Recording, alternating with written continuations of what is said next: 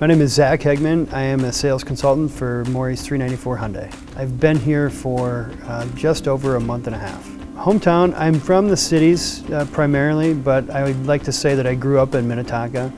Day to day has been very busy for me. I am, uh, uh, being a sales consultant, I find myself doing a little bit of everything, whether it's helping clients wash cars or uh, complete a sales cycle or even help my other associates who are new to the industry. My favorite part about Buy Happy is um, the way it diffuses the customer in a traditional buying situation.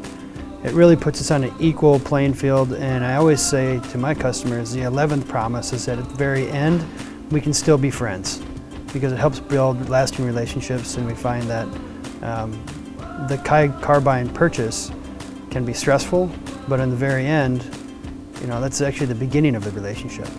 My favorite Hyundai, recently being exposed to the new Genesis brand. My new favorite non-Hyundai is the Genesis G90. Favorite vehicle of all time, I would have to say is uh, probably the Porsche 928 from Risky Business. Very, very iconic.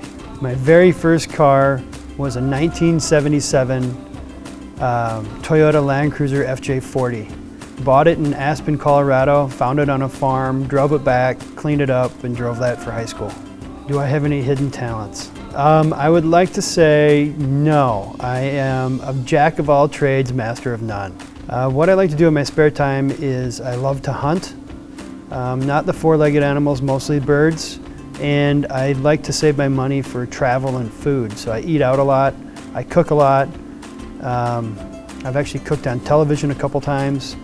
Um, my favorite standby is 112 Eatery by a long shot. Some of the best food, super consistent, tough to get in, but if anybody's ever been there, you understand.